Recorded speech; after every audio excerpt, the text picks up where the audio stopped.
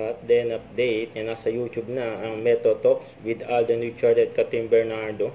Yung tatalino sumagot ng cut din eh. Sa mga tanong dyan sa Metro. Ito yung isa sa mga aabangan sa Love Again. Yung subuan nila Ethan at Joy. And dyan pa lang kikiligin na yung mga fans ng cut din eh.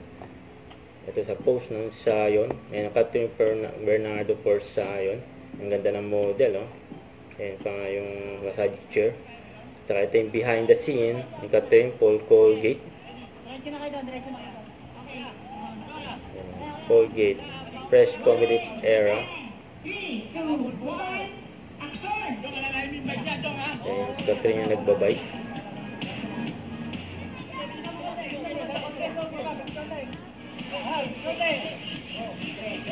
Hirap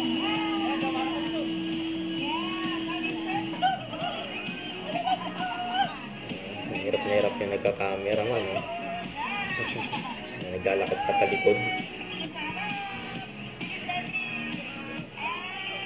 Okay, cut.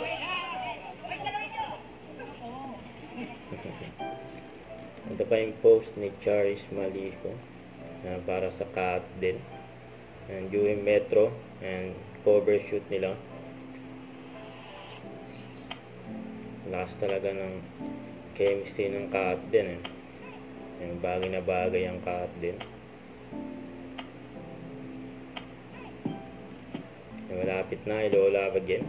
November 13 in cinemas nation Oh, well, ako and po kasi at the end worldwide. of the day, Ito I naman, take my job seriously. post Wala ng akong ni hidden agenda sa mga nakakatrabaho. Kasi alam ko naman po kung paano ako magtrabaho. Hindi ako para Yeah, para kay Alden personal na trabaho-trabaho agenda lang. To anyone. Alam naman ni- nila po na pagdating na pag narinig ko yung action and pag narinig nila yung action, trabaho tayo. Pagkat Huwag kalimutan mag-subscribe, click on notification bell for more update. Ito na po ang Nature Reaction Vlog. Bye guys, thank you for watching.